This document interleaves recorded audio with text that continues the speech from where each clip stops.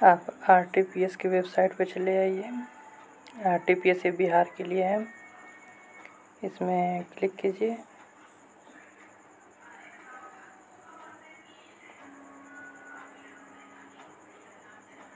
यहाँ पे आपको लॉगिन करना होगा।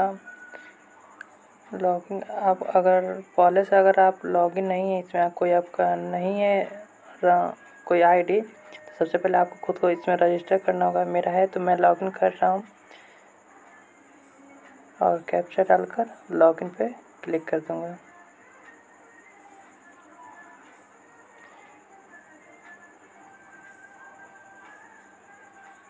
अगर आपका नहीं है तो ये रजिस्टर हेयर पर क्लिक करके आप अपना लॉगिन आईडी और पासवर्ड बना सकते हैं खुद से। वो खुद से बनाना रहता है। रजिस्टर हेयर पर क्लिक करके आप खुद से अपना बना लीजिए। और अगर बना चुके हैं तो वहीं लॉगिन आईडी पासवर्ड डालकर क्लिक कीजिएगा तो आप लॉगिन हो जाएगा। लॉगिन होने पर आप सर्विस प्लस के वेबसाइट पर आइएगा।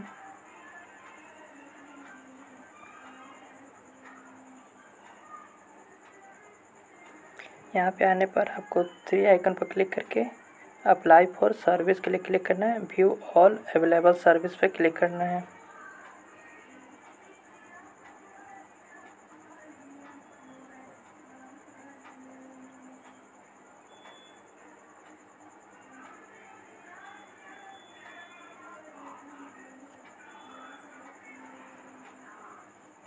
मुझे कैटेगरी सर्टिफिकेट की ज़रूरत है, इसलिए मैं यहाँ पे सर्च में कैटेगरी सर्टिफिकेट लिख दे रहा हूँ।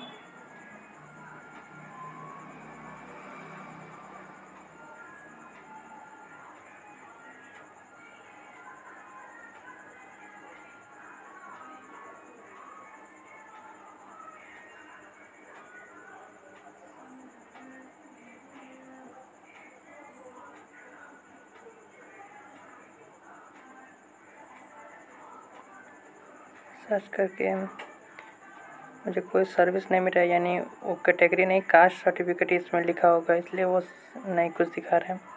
कास्ट सर्टिफिकेट आने पर मुझे एक डीएम लेवल एक आर और एस डी ओ लेवल मिला है। सबसे पहले आर ओ लेवल होता है, इसलिए मुझे सबसे पहले आर ओ लेवल ही बनाना होगा। और उसी से अधिकांश काम चले जाता है। नेशनल लेवल पर जो होते हैं सिलेक्शन उसके लिए डीएम लेवल का बनाना पड़ता है। जैसे मुझे आर ओ लेवल यानी ब्लॉक से बनवाना है।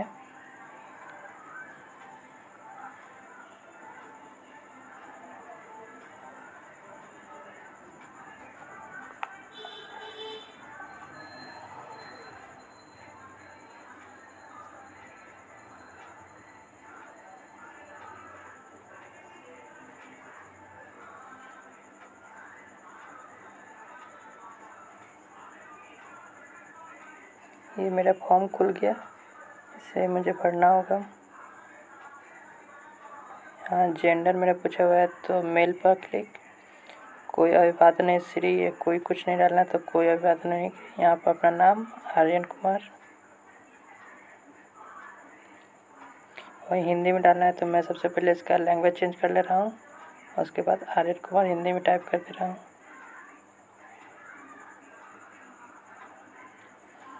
फादर्स नेम ये सब आप डाल लीजिएगा अपना।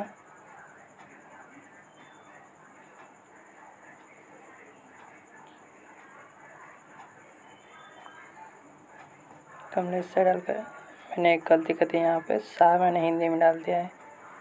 जैसे इंग्लिश में डालना होगा।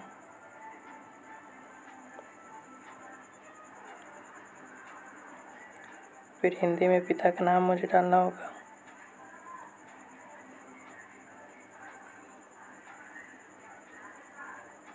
माँ का नाम यहाँ पे डालना होगा आपको।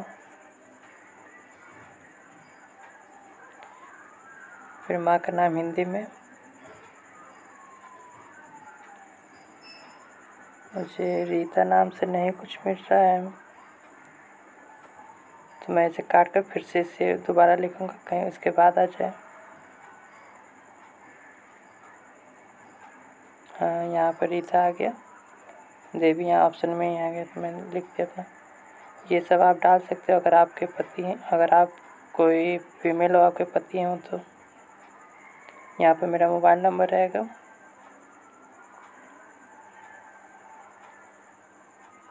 और यहाँ आप ईमेल आईडी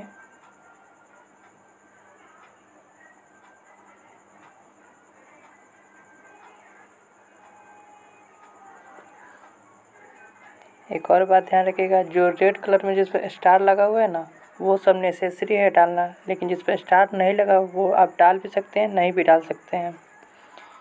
यहाँ पर मेरा स्टेट बिहार, जिला पश्चिमी चंपारण।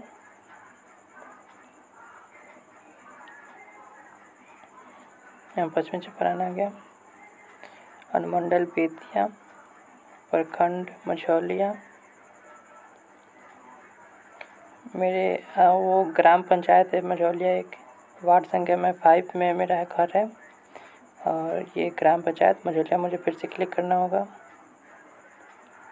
ग्राम पूछा तो फिर से मैं मझौलिया टाइप कर दे रहा हूँ। पोस्ट ऑफ़िस भी मझौलिया। पुलिस स्टेशन भी मझौलिया।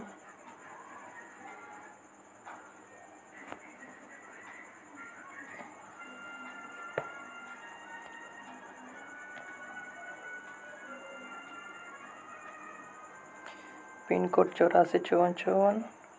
आप अपने, आप जहाँ से हो, वहाँ का पिन कोड डाल लीजिए। पूछा है प्रजेंट एड्रेस तो मैं सेम एज एबव कर दे रहा हूँ। परजेंट और परमानेंट दोनों सेम हो जाएगा एड्रेस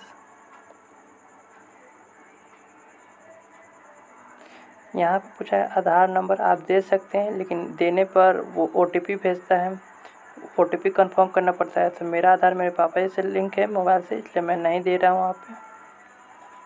आप नहीं भी दीजिएगा तो काम चल जाएगा। इमेज एक मांगा हुआ था अपलोड करने के लिए तो मैं इमेज यहाँ पे अपलोड कर दे रहा हूँ। फ़ाइल चूज़ करके मैंने अपलोड कर दिया। पेशा ऑक्यूपेशन में क्या क्या स्टूडेंट दिया है? कृषि फार्म नहीं नहीं, मुझे स्टूडेंट ना मैं कैटेगरी पूछ रहा है। कैटेगरी में क्या अत्यंत पिछड़ा अनुसूची वन में मैं आता हूँ। अत्यंत पिछड़ा वर्ग अनुसूची वन आप अपना देख लीजिएगा, आप किसमें हैं या अपने गार्जियन से पूछ लीजिएगा। हम जाति पूछा है तो मेरा जाति तेली है और उसमें देख ले रहा हूँ कहाँ पे है।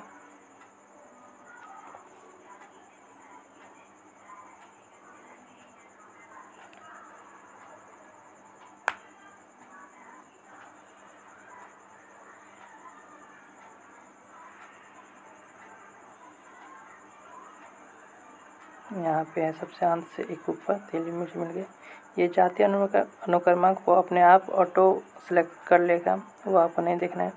ये सब नीचे वाला में वो सब भर लेगा नहीं देखना है आपको। ये आप नीचे आ जाइए कैप्चर डालकर।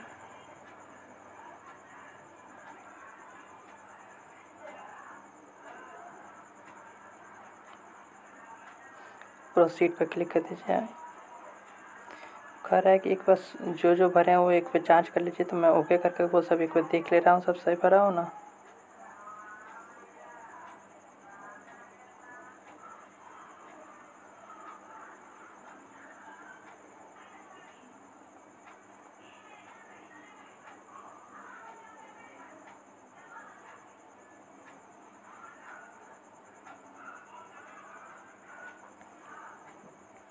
मुझे सब सही तो लग रहा है। वार्ड नंबर फाइव सब सही लग रहा है। ठीक है, मैं अब आगे बढ़ जाता हूँ। आप भी अपना मिला लीजिएगा।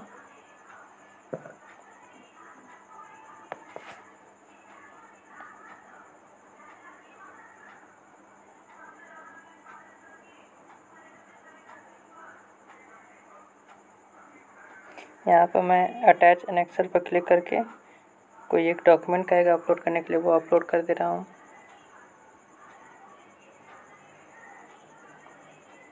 ये वेरिफिकेशन के लिए होता है, कोई एक डॉक्यूमेंट आपको देना पड़ेगा। जैसे मैं डॉक्यूमेंट डॉक्यूमेंट पर क्लिक किया तो मुझे आधार कार्ड मेरे पास आधार कार्ड है तो मैं आधार कार्ड ही डाल दे रहा हूँ। यहाँ पे आधार कार्ड डालेगा तो वो ओटीपी नहीं भेजेगा। अगर आपका मोबाइल नंबर रजिस्टर्ड है, आपके आधार कार्ड से तो आप डाल सकते हैं ओटीपी भी कंफर्म कर लीजिए। नीचे पर रहता वो आधार कार्ड का पीडीएफ डालना होगा तो वो आधार कार्ड का पीडीएफ मैं उसके नीचे डाल दे रहा हूँ। यहाँ पर चूज़ फ़ाइल पर क्लिक करके मैं आधार कार्ड का पीडीएफ डाल दिया सेव एन पर क्लिक करके आगे बढ़ जाता हूँ।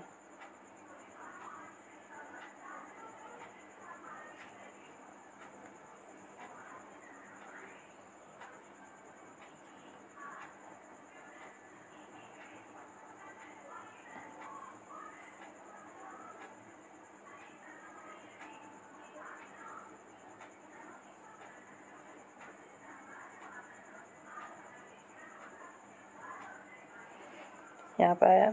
ये सब मेरा डिटेल्स है। ये यहाँ पर सबमिट पे क्लिक करके।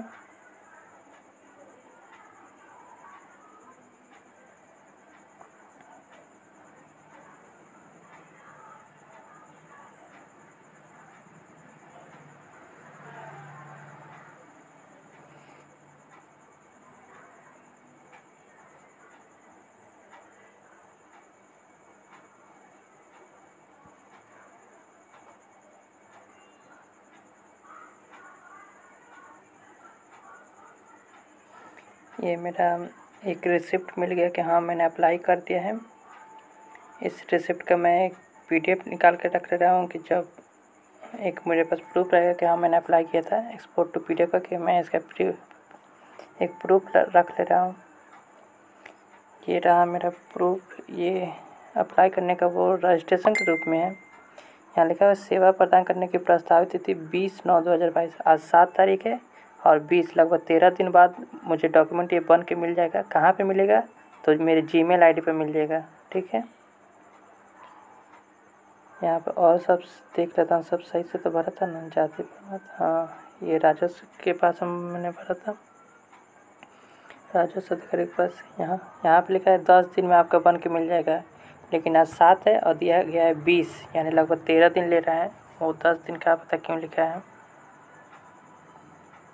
वैसे दस दिन लिखा है तो दस दिन में तो दे देना चाहिए, लेकिन जब लिखा है बीस तारीख तक, शायद अंतिम तिथि बीस ही होगा। ठीक है तो इस तरह आप अपना भी बना सकते हैं।